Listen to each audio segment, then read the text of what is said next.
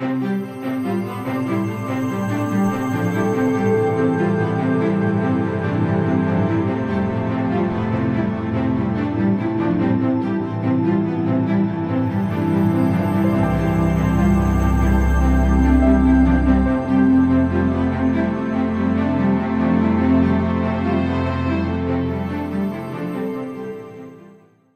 celebration of the Day of the Dead in Mexico.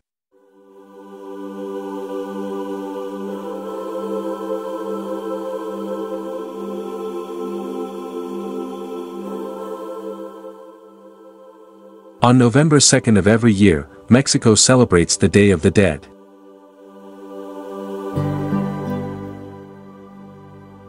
The Day of the Dead is celebrated in almost all the states of central and southern Mexico, mainly in Michoacan, Guanajuato, Puebla, Oaxaca, Yucatan, Chiapas, and Mexico City.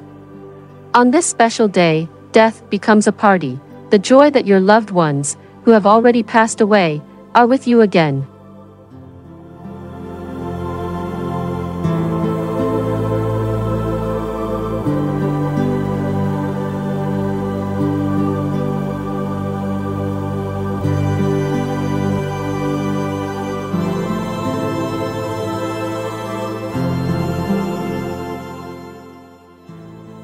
People go to the pantheons to offer a heartfelt tribute to loved ones who have already left. They clean their graves, bring them flowers and objects to decorate them. Many families bring food and drinks to share with their dead, with the understanding that their souls will come down to accompany them.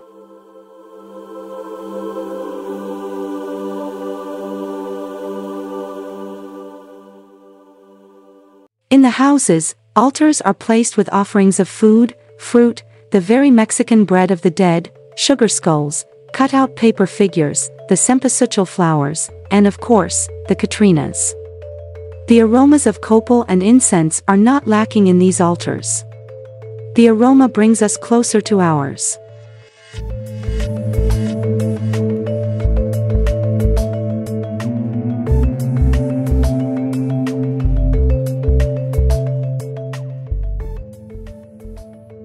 The bread of the dead is a delicious Mexican sweet bread, made with wheat flour, milk, egg, yeast, sugar, butter and often flavored with anise or orange.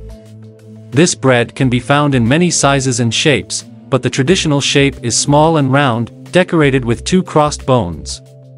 Once this bread is baked, the surface is covered with sugar, cinnamon or sesame.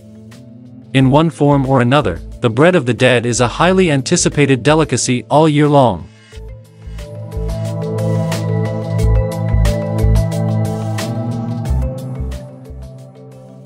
Cempasúchil is the flower that adorns the Day of the Dead in Mexico. In the Nahuatl language, cempasúchil means flower with 20 petals. This flower stands out for its attractive yellow or orange color and its unmistakable aroma. In addition to adorning altars and offerings on the Day of the Dead, the cempasúchil flower has medicinal uses due to its antibacterial, antifungal and antioxidant properties. It is also used as a natural colorant and as a raw material to make craft beers, ice cream, and even a good tequila.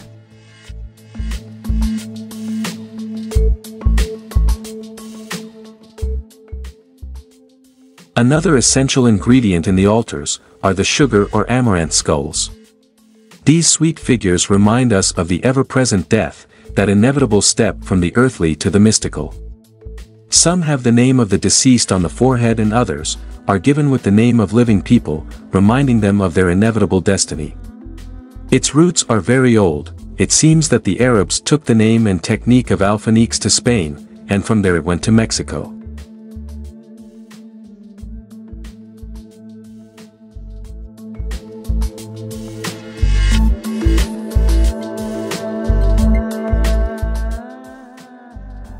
A very special place, in the celebration of the Day of the Dead, is occupied by Las Catrinas.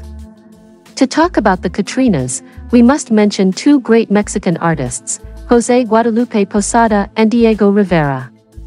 In engraving and mural painting, respectively, both characters were tireless social fighters, representing in their works a severe criticism of government abuse, with drama and a great sense of humor. La Catrina, more than death, represented a social criticism.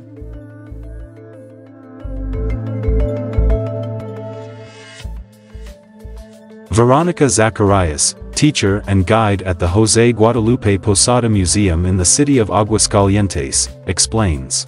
The image of La Catrina emerged at the beginning of the 20th century from the hands of the Mexican engraver Jose Guadalupe Posada to illustrate some rhyming verses about the Day of the Dead, known as Calaveritas, and mock social classes.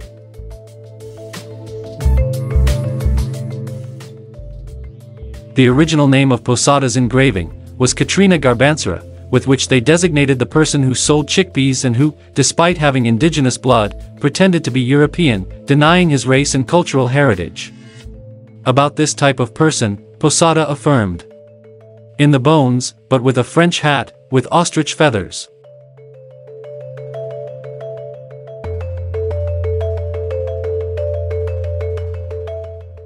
In his mural, Dream of a Sunday afternoon in the Alameda Central, located in the Mural Museum, in Mexico City, Diego Rivera represents famous people and events in the history of Mexico, including, among others, Frida Kahlo, Jose Guadalupe Posada, Benito Juarez, Porfirio Diaz, Hernan Cortez, and, in the center, a child version of Diego Rivera himself, holding hands with Catrina.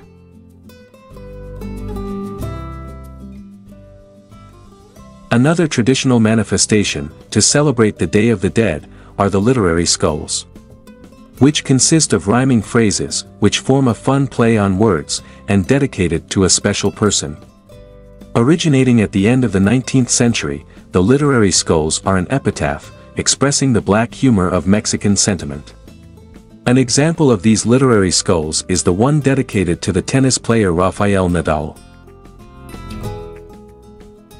Nadal was playing in the open, when suddenly, he saw a grotesque. She was the bony one on the other side of the court, that the guaracha danced with rhythm. He said death, take out the ball now, and Rafa said, better a gun.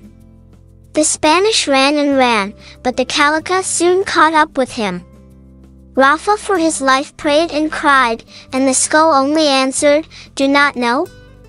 It's November and my dream was to meet you.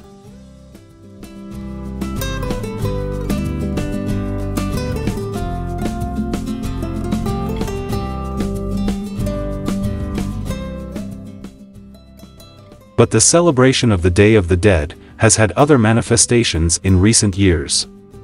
The 2015 movie Spectre, starring the legendary James Bond, kicks off with a Day of the Dead parade in Mexico City. This sequence fascinated the people of the capital to such a degree, that the parade is now a tradition every year.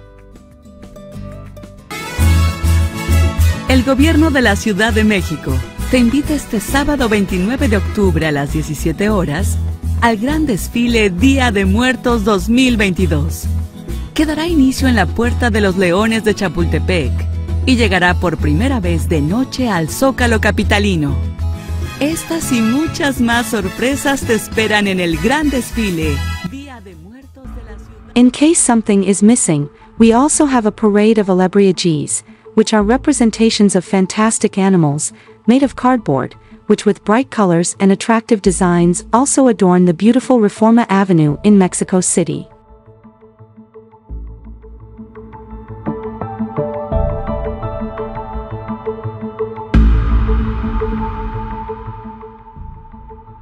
The Day of the Dead festivity does not mean that Mexicans do not fear death. We respect and venerate her in her fair dimension. We take the passage to the next life very seriously. But it is our way of remembering and venerating our loved ones who have passed away, we flourish with their memory, and, why not, celebrate those of us who are alive.